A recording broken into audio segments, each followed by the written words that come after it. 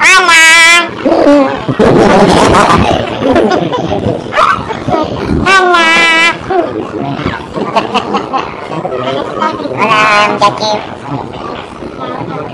À, nó mới cha vậy. Cho nó